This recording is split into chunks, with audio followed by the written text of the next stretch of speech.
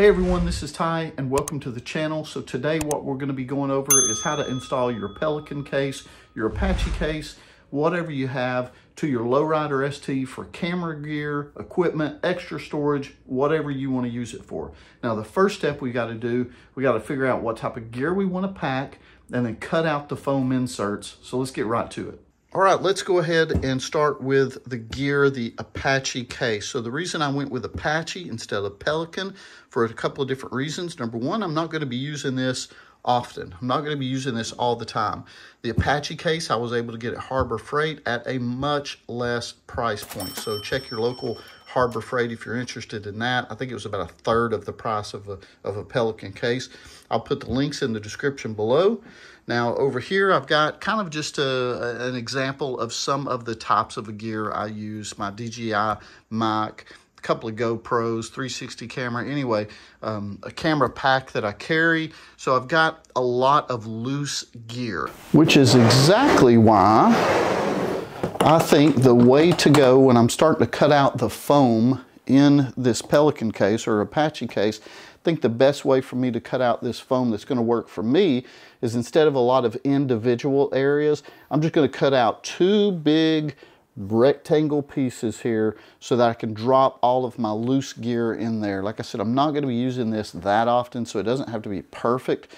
But I think for me, I'm just going to do exactly that. Two compartments in here that I can put an assortment of gear. So let's get those things done. All right, to start with, I'm just gonna mark with some toothpicks exactly where I want those compartments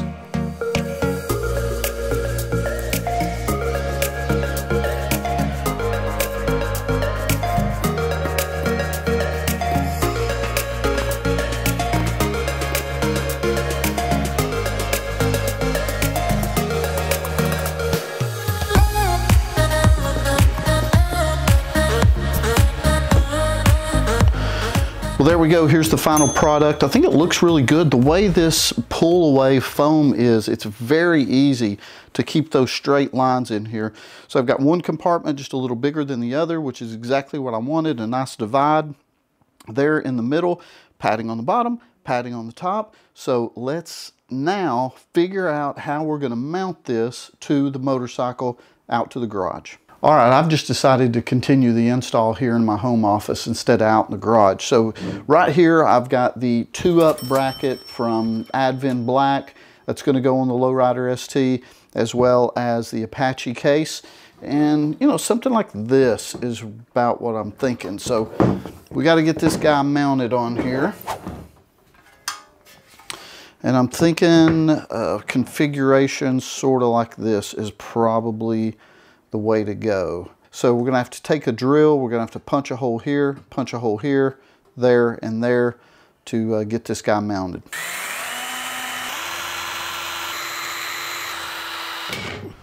Well, at this point, I've got uh, an assortment of washers, nuts, bolts, that type of thing. So I'm just going to get on here, start working on this, see what works best, um, try to get the fitment down, and then we'll take it outside to the garage, try it on the bike from there.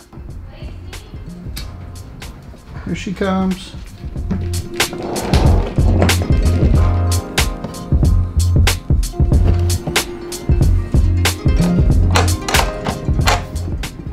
All right, so I'm out here in the garage with the Lowrider ST. Now we're gonna see what it looks like on the bike.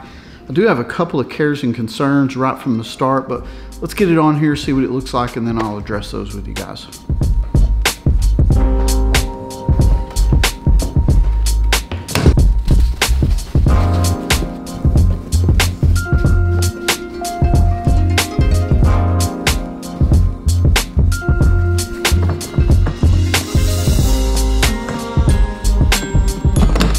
Well, it's the next day. I got everything set up on the Lowrider ST after after it was dark, so I couldn't bring it out here to show you guys. My wife and I are sitting outside with the dogs. It's a beautiful day, and I wanted to show you guys the end result and uh, tell you a few things that I learned along the way.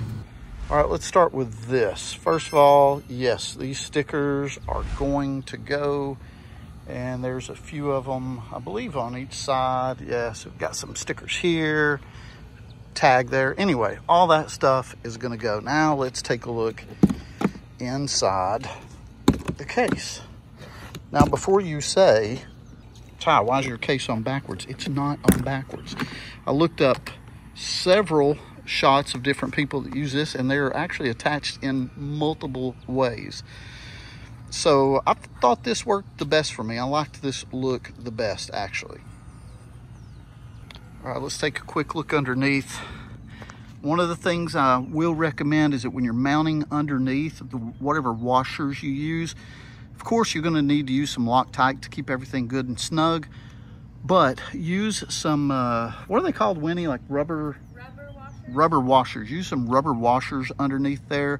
Um, on, I used some on the outside and on the inside along with stainless steel washers just to keep it super tight and uh, as, as much water resistance as possible. So keep that in mind.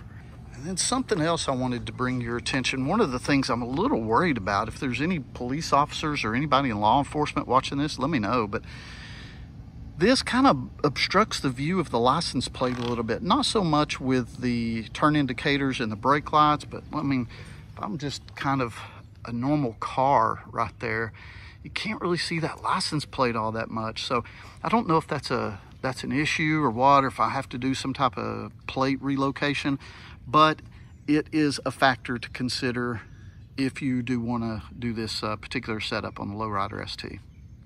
So here's just a final quick look at this configuration. Also um, previously did a video and put an Advan Black Tour Pack up here. So I'll post some pictures of that uh, in this video as well. You guys can tell me in the comments below, what do you like the best? Do you like the Tour Pack by Advan Black or do you like the Pelican slash Apache case for the Lowrider ST? I'd be curious what your, uh, what your preference is, so let me know. Well, thank you guys very much for joining me today. I certainly appreciate your time. Hope you and I both learned something along the way. If you would, please like and subscribe. I hope you guys have an excellent day, and we'll talk to you again soon.